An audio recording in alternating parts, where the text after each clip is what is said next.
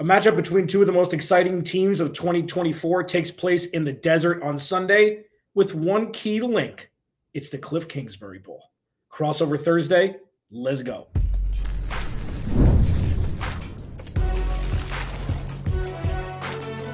You are Locked On NFL Crossover, part of the Locked On Podcast Network. Your team every day. Welcome in, Crossover Thursday. Alex Clancy, Locked On Cardinals. David Harrison, Locked On Commanders. Thank you for making Locked On Cardinals and Locked On Commanders your respective first listens free wherever you get your podcast and on YouTube, part of the Locked On Podcast Network, your team every day. Today's episode of Crossover Thursday is presented by Prize Picks. Go to prizepicks.com slash locked on NFL and use code all lowercase locked on NFL to win 50 bucks instantly when you play $5. Coming off a punishing of the Cincinnati Bengals, Washington Commanders flying across country uh, with Kliff Kingsbury, former head coach, Arizona Cardinals, coming off a tough loss to the NFC champion um, contender last year in the Detroit Lions, 20 to 13. Something's got to give David Harrison of Locked On Commanders. And I think that if the over under in this game was 100, I'd still probably take the over. So when we, so when we, you know, unpack this matchup, uh, first segment, David is going to be under a microscope. He's going to give us the biggest storylines on both sides of the ball. Then it's going to be my turn. Cardinals' biggest storylines in the second segment and the path to victory for both teams. David, impressive win. Jayden Daniels has looked fantastic. He looks mature because yeah. he's one of the older rookie quarterbacks that we've seen in some time after playing quite a few years in college. Kind of walk me through the offense so far because that's the fun stuff and the more mm-hmm. positive mm-hmm. of the two, and then we'll pivot to the defense. Yeah, I mean, I mean, I mean, the story, the story with the offense is that development of Jayden Daniels, right? And and if you go all the way back into like rookie mini camp and, and mandatory mini camps and all that stuff, the the constant that's always been there, even if the throws haven't always been there, the command of the offense hasn't always been there. Jamin, uh, Jamin's Jayden Davis, Jayden Daniels, not Jamin Davis, the linebacker. wow, Jayden Daniels' poise, unlike mine, has been unquestioned like the entire time that he's been here. I mean, even going back to rookie minicamp, like just watching him in a one day practice uh, environment and listening to his teammates and kind of just seeing the way that he kind of captured the room and captured the players on the field at, at, the, at the times he was dealing with them. That's always been there. And I've been sharing this this analogy with everybody. Um, I even shared it with Jayden's mother at one point when she came out for practice during training camp, and she said that I nailed the analogy. So I like sharing it. I kind of said that Jayden seemed like the kind of dude that if his, if his house was on fire, he would find a way to collect all of his valuables, just the important stuff, and just calmly stroll out of his house. Like there would be no mm-hmm. panic, there would be no run, there would be no screaming fire. And I don't mean to downplay house fires. Please, if there is one, don't try to be that calm and collected. Yeah. But that just kind of describes what Jayden Daniels is. And at every moment, man, I mean, mandatory mini camp, first time the veterans are in there. Terry McLaurin is good, just going crazy about how this rookie quarterback is coming to him after a set and saying, Hey, dude, that route there, I thought you were going to do this. You did this here's what you like, here's what I like. Okay, after practice, let's run that some more. And, it, and it's the rookie going to the veteran saying, let's do this some more. How early he comes in, but not just being in the building, right? Doing his own little mini walkthroughs with rookie wide receiver Luke McCaffrey. And as you go through this process, opening week of the NFL season, I will say that his internal clock did look sped up. I will say that, but not to the point where he was frantic. Then you go to the New York Giants game, even better. And the Cincinnati Bengals game, man. I mean, that was nobody Nobody saw that coming. And even Dan Quinn had to admit 14 straight scoring drives over the course of two games, plus a little bit of a fourth quarter in week one. Even he had to admit in an exclusive conversation with WSA 9's Chick Hernandez out here in DC that even he didn't see that coming. So, like, this kid is impressing everybody, including the dudes who broke down thousands of hours of tape and interviews and everything else and made him the number two overall draft pick. That's how impressive he's been so far. Yeah, and the, the interesting part is David Harrison. You very well know this. You've been around the game a long time. You're a smart dude. Is there's a couple things. One, Kyler Murray was drafted when he was 21. Jayden Daniels will be mm-hmm. 24 in December. And while it seems like those two years aren't that big of a deal, these guys are, and I say this respectfully, they're kids.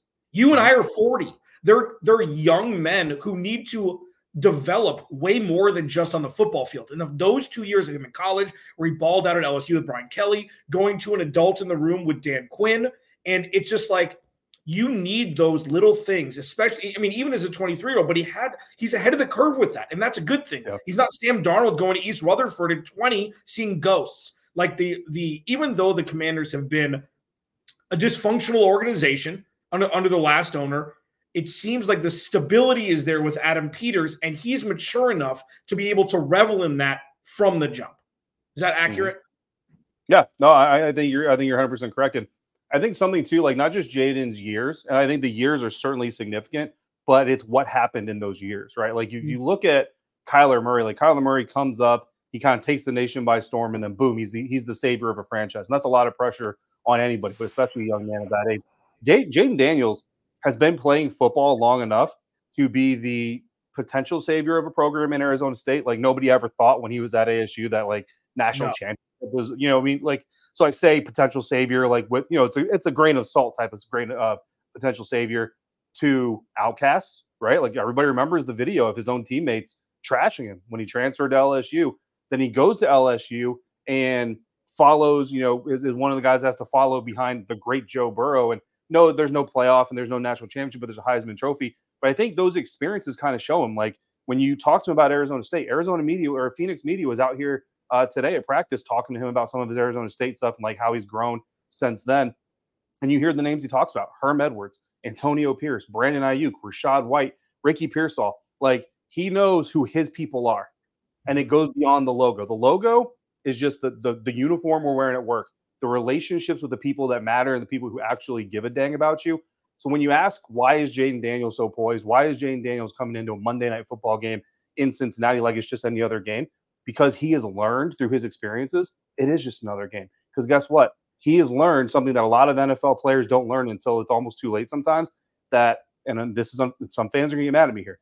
The people wearing Cardinal red, when you start wearing Vikings purple, if that ever happens for Kyler Murray, a lot of those people are going to forget you. They're going to go on to the mm-hmm. next guy, and that guy's going to be their next favorite quarterback. Jayden Daniels already understands that. So, as proud as he is to get these fans behind him, and as much as he enjoys their support and everything, he also understands that at the end of the day, what's important is the pre people around you that are really invested in your welfare. And that's why the Monday night logo, the music, the fans in the stands don't bother him or impact him because he has that perspective. Yeah, and that's that's really well said. And you know, we'll pivot here to Kliff Kingsbury. Obviously, you know, for Cardinals, you know, my everydayers that have been around for years, I, I was never the biggest fan. I the the mm-hmm. the line that I said that I think best illustrated Kliff Kingsbury as a head coach while calling plays was he puts together a hell of a movie trailer, but most of the time the movie isn't very good. Yeah. And what you've yeah, seen so far is um, early in seasons, Kliff thrives and that's what we've seen. I'll get to this. This is about him as the commanders, but I think as an offensive play caller only and a developer of a quarterback only without the CEO duties of a head coach, I think he's in a much better spot. Talk to me before we pivot here to the defense, before we go 15 minutes in the first segment. What Kliff Kingsbury has meant to Jayden Daniels. And, and I mean, he's a player's coach. I'm assuming people love him out there. Yeah, I mean, I mean, the dude's cool, right? Like, like you have this impression of Kliff Kingsbury. Socks, you remember, you remember the house during doesn't wear socks. He's got the he's got the Travis Scott Mac attacks on every day. Like you remember the house during the COVID draft and everything. Like the dude is just cool, but he's also a very down to earth dude when you start talking to him. I think the players really resonate with that, or that's how he resonates with them. And what I've really liked about what Kliff Kingsbury has done here with Jayden is he hasn't tried to do too much. He hasn't tried to force the issue. Uh, you know, you look at Caleb Williams out in Chicago, man, 52 passes last week, uh, trying trying to carry the Chicago Bears. Nobody's asking Jayden Daniels to come out here and carry this team yet when he gets done throwing a bomb to Terry McLaurin or you know completing another touchdown drive to take the lead on Monday night, he's on the sideline dapping up all his linemen, all his receivers. But then you also see him going over to John Allen, veteran defensive tackle on this defense, and pumping him up too. So the dude may not have a C on his chest because there are no captains on this team, permanent captains on this team. The dude may not be being billed as the leader, savior of the Washington Commanders, but bang no doubt about it, he is a leader and he's being facilitated to do that because Kliff Kingsbury is not putting too much on his plate before he's ready to do it. And I think that you're also seeing a true element of a combined offense between himself, Brian Johnson, the offensive pass game coordinator and assistant head coach, and Anthony Lynn, the run game coordinator, who, if Kliff Kingsbury were to leave this job, uh, obviously you'd have a lot of success to do that. I think Anthony Lynn would be the next man in line for that job. So I think all of those elements, again, like you said, we'll see how this looks week six, week seven, right? But right now, right, that's why it all looks really good. Yeah, so far so good. Now talk to me about the defense. Um, not even close yeah. to what it looked like a couple years ago. Most of the front is gone, aside from yeah. aside from uh, Jonathan Allen. You know, Montez Sweat is gone. Chase Young is gone, even though he never really potentially lived up to number two overall uh, billing. Um, talk to me about right. the defense and what the Cardinals can expect. Yeah, man. I mean, the the identity that Joe Whitt Jr. Dan Quinn want to have is aggression, getting after the quarterback, hunting the ball. What the Washington Bears defense has lacked in these first three weeks is aggressive play, hunting the quarterback, getting after the ball. um, so it has not been a success. John Allen, again, the veteran defensive tackle, not the veteran. Bobby Wagner would be the veteran, but John Allen flat out said earlier this week or at the end of the game, rather, um, we've got to do better. We've got to support our offense. Thank God for that offense, or else we'd be, you know, we'd be uh, down in the dirt and, and that's fine to oh, be aware of it, but you got to do it. You know what I mean? So we'll see. Uh, 400 plus yards of offense to the Cincinnati Bengals. Joe Burrow, one of his best days in his career stat wise. Ja'Marr Chase, one of his better games stat wise. They still come out with a win, but that defense, that's not a sustainable defense. And that's what the Cardinals are going to be looking to do is, is to exploit that defense and contain that offense yeah, it's gonna be fascinating to see because the Cardinals had a very uh, low output offensive game last week, and the Commanders had a very low output defensive game and the defensive mindsets. We'll see. We'll see what breaks um, if either. Alex Clancy locked on Cardinals. David Harrison locked on Commanders. Crossover Thursday here. Cardinals under a microscope next. This episode of Crossover Thursday is brought to you by the Game Time app. Uh, Game Time is uh, badass, if I can say that. Super easy, super clean. Uh, they've got a new feature called Game Time Picks that makes getting tickets even easier. Um, it filters out all the fluff, so you can just see the tickets that you want to be looking at. They've got this thing uh, called um, you can toggle for all-in pricing. So you know, people are like, well, what are the what are the fees? What's this total going to be when I see a number and then I don't know what the total is going to be? You can toggle to a feature called all-in pricing where you see the tickets you want and it's the total amount that you will pay for those seats. And if you want to know where the seats are, what they look like, they have a panoramic view from the seats before you buy them. So you want to go to Chase Field to see if the Diamondbacks can can lock in a you know lock in a playoff spot or if you want to go see a Nationals game, you can do that and see where you're going to be the view that you're going to be seeing from the seats before you buy them. It's an absolute game changer. Take the guesswork out of buying tickets with Game Time. Download the Game Time app, create an account. Use code NFL for 20 bucks off your first purchase. Terms apply again. Create an account and redeem code L-O-C-K-E-D-O-N-N-F-L for 20 bucks off. Download Game Time today. Last minute tickets, lowest price, guaranteed.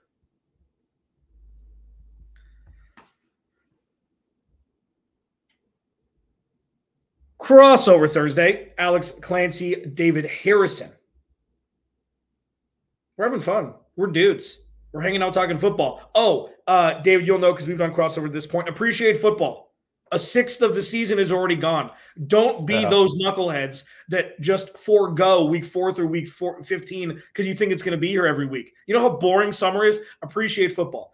Arizona Cardinals coming off a loss, uh, one and two. Some think, including me, that they very well could have been three and zero oh at this point if you know they were a little bit sharper against Buffalo, and then you know if they would have scored more than three points in the second half against Detroit. The bigger story here for the Cardinals is will they be able to take advantage of a bad defense? A bad defense as currently, like right now, circumstantially, a bad defense. Okay. A lower than average defense. And they did it against the Rams. The Rams have kind of a front, but uh, their their offense was was decimated so the, the Cardinals were able to take advantage there. Um, and that's the biggest thing because the offense, that's the biggest story this year. They drafted Marvin Harrison Jr. They didn't trade back. Year six with, with, with Kyler Murray. Drew Petzing showed proof of concept last year. And you look at the skill position players across the NFL with how much bad, bad, uh, you know, football's being played. You look at the roster of the Cardinals offense, they should be putting up 30 points a game, irrespective of opponent. And they didn't do that last week. And uh, that's that's the biggest story for me. I mean, it's Kyler Murray, Marvin Harrison Jr., Trey McBride's a concussion protocol still. Uh, Kelvin Beachum looks to be starting at right tackle. David, from your side, what questions do you have specifically about the Cardinals' offense as uh, the Washington defense looks to bounce back? Yeah, I mean, I mean, the big the biggest question I have is is I want to know if there is a perception problem here, right? Because we all we a lot of times we all suffer from confirmation bias, right? Like mm-hmm. I think this, so I see this. Here's the thing, though. I've been telling people all like all the end of last season, all off season, and especially once I saw the schedule, and people are like, "Oh man, first four games you got Giants and you got uh, uh the, the Arizona Cardinals. That's two wins right there." I said, "Whoa, whoa, whoa, slow, slow down, slow down." The Arizona Cardinals once Kyler Murray came back, and even then, like you still have new new system, new coaches. Like so, you have to have grain of salt. Like that's a better team than a lot of people expect on the outside, I think. But then I turn on the tape, and on my on my travels from Ohio after Monday night here to here in Phoenix uh, Tuesday night, I watched two of their three games this season. Now, here's the biggest transparency thing: the one game I couldn't download to watch uh, was the win, right? Mm-hmm. So like I haven't seen them at their best, you know, quote unquote. Um, but the other games I'm seeing, man, and what and and this could be the confirmation, or this could be be clouded on my end because I'm seeing a lot of short passes from Jayden Daniels, a lot of quick passes with space around receivers. But it looks to me, Marvin Harrison included, even Trey McBride at times, that one, the ball is not 100% accurate. Kyler Murray is kind of off trajectory, off target, making guys climb ladders for 10 yard hitch routes and, and things like that when they shouldn't be. And then two, the, the Cardinals receivers seem to be having a hard time, generally speaking, making catches through contact. So how much of that, Alex, is me seeing a lot of completions in Washington. So maybe I'm I'm getting spoiled in three weeks thinking everything should be caught. Or and how much of that is is reality? Um, I think it's probably 70 30 the former. Uh, I, I, did a i did a full segment and a half on this um, earlier in the week where kyler's got to throw more catchable balls from marvin harrison jr and not just rely on him to go up and get 50 50 balls three games into three games into his career.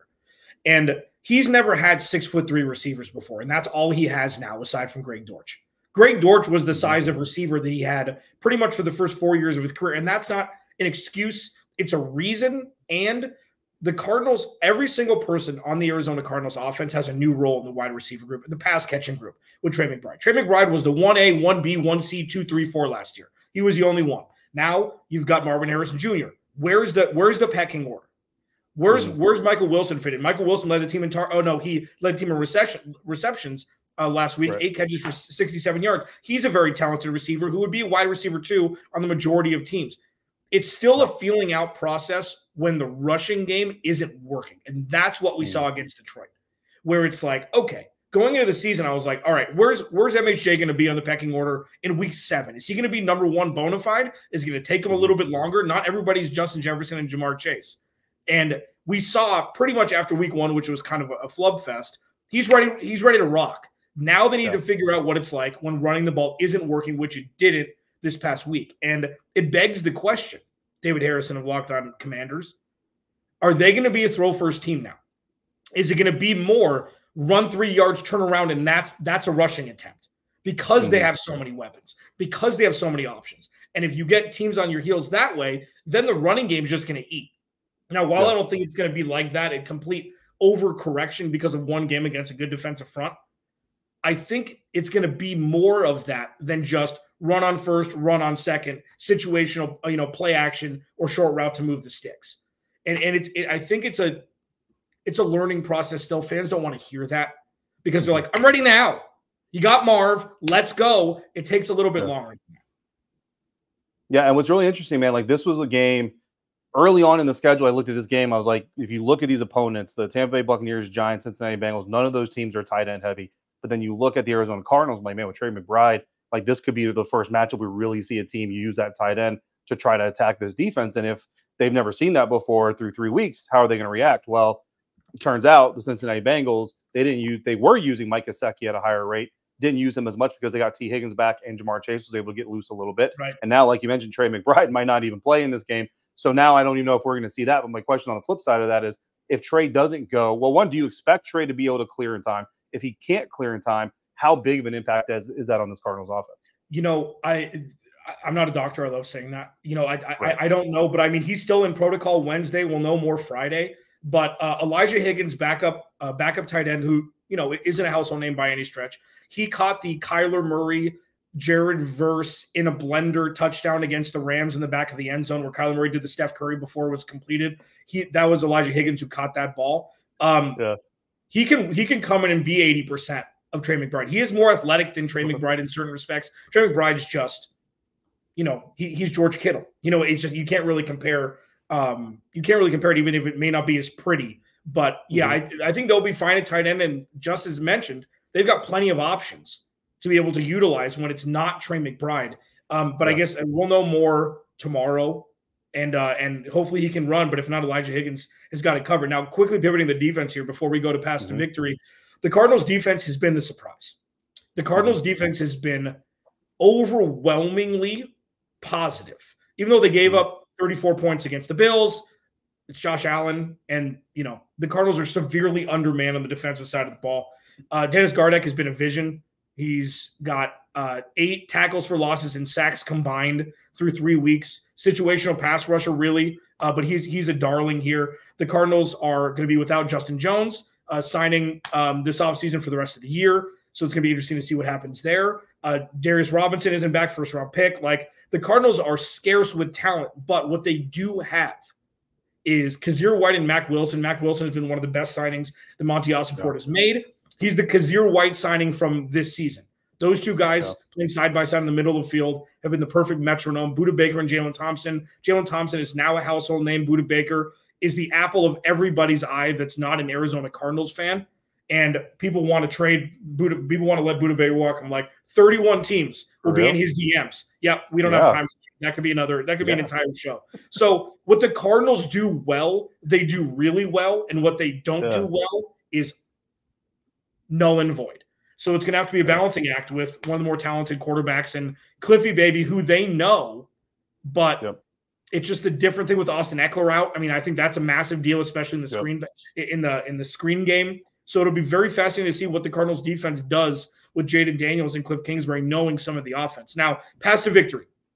Um, this is going to be a little bit less run of the mill, I think, especially with how these teams stack up. We'll discuss that next. Crossover Thursday.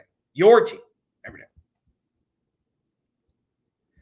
This episode of Crossover Thursday is brought to you by FanDuel. Hey, NFL fans, you can start your season with a big return on FanDuel, America's number one sports book.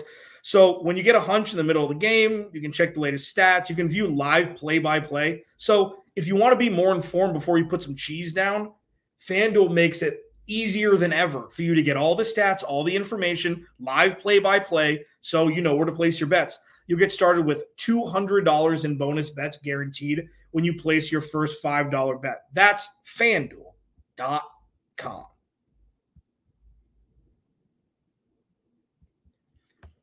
All right. David Harrison at D Harrison82 on Twitter at Clancy's Corner. Finally got my Twitter back, man. Woo! I feel alive. David, pass to victory. Um, I have no idea what you're going to say. I know you sent me a little text. Pass to victory. I'm, I'm actually really curious about what they need to emphasize. Yeah, so the three things that the Washington Commanders have to do in order to win this game is number one, contain Kyler Murray. Number two, you can't get out physical by James Conner. Number three, you can't get caught up in the hype of coming back to Arizona. Those those are the three things you got to do. And Alex, I'll let you pick which one is most intriguing to you, and we can dissect that one first.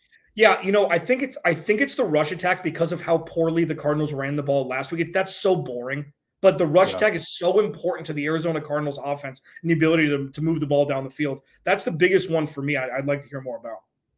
Yeah, I mean, it's been really interesting to me. And, you know, again, I've only been to watch two thirds of the games this year. So there's, there is that grain of salt that needs to be thrown in here. But it looks to me that this Arizona Cardinals offense, they really like to get Conner going. Especially that, I mean, especially that Buffalo Bills game, like like mm-hmm. 10, I think it was like 10 of the first like 12 touches all yep. went his way and they were physical and they were and the and you know the, the Bills were trying to stand up and it was just it was it was a heavyweight bout and I was like man this is like old school football. And then just gradually they kind of just go away from it. And then watching that Lions game it was almost the same like not not quite as heavy right the workload but like there was a lot of physicality and I feel like he's really kind of the physical part of the Cardinals offense. And there was a lot of physicality early but then especially as like they weren't able to kind of take the lead and the Lions kind of held that lead and some of the fourth downs didn't work out. Like they just kind of went away from that part of the game. And I just wish that they would just kind of stick there, like looking at like a Cardinals potential success thing. I look at the Washington Commanders, and if there's one thing that they haven't been able to do against opponents this season, even though they're two and one, is stand up to bullies. Mike Evans pushed them around. Chris Godwin pushed them around. Uh, Bucky Bucky Irving, different sort of physical skill, right? Speed, agility, ability to get through the gap quick and, and accelerate push them around. Then you go to New York, the only bully they got, Malik Nabers, uh, you know, two game career at the time, but he had a career day, but it was a very good day nonetheless, even if it is only a two two uh, two game career career day. And then you go to Cincinnati, and again, Joe Burrow, one of the best days of his career. If you look at Joe Burrow's stat line and every other stat line he's had like that in his career, this is the only time he's ever lost a game like that. Ja'Marr Chase, same thing. Look at that stat line, all those stat lines in his career. Only time he's ever lost this game with that type of a stat line. Zach Moss was doing his thing. Like this Washington Commanders defense so far can get bullied. So the Arizona Cardinals come out and establish some of that bullying physicality with their running back, which I, if, if I'm an offensive coordinator looking at this defense, that's exactly what I'm doing. But yeah. then they go away from it. That's going to be, I think, this going to be frustrating for Cardinals fans. Yeah, you know, see, it's the they don't know who they are yet thing. Mm-hmm. It's not that okay.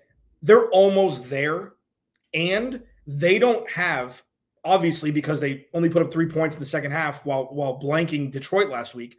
They don't have an alternative if they're not able to move the rock running the ball right away. And I think that that's yeah. something that's it's borderline terrifying. Where it's like they're going to figure it out. It's going to be fine. I think you're going to see a lot more play action. I think you're going to see a lot more. Um, uh, you're going to see a lot more passes from Kyler Murray because here's the thing, David. Kyler Murray is the most talented player on the team. Mm-hmm. The more he has the ball in his hand, the better the opportunity for great things to happen. So while running the ball, and I think Drew Petzing's a run first guy, and I've said it all year, this is gonna be a run first offense, unless Marvin Harrison Jr. is that good, where it's like, okay, you kind of need to shift a little bit. So as we're pivoting to the keys to victory for the Cardinals, this is the first game where I've said 15 targets.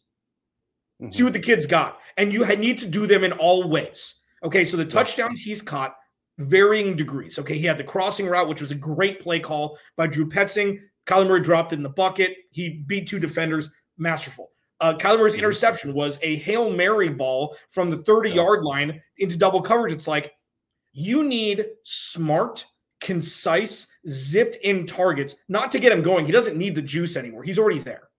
Mm-hmm. You need to get him the ball in chunk situations, 15 targets. I don't think it's outside of the realm of, of, of normalcy. He had 11 last week, I think. That's number one for me. It's like, okay, we've got our sea legs here.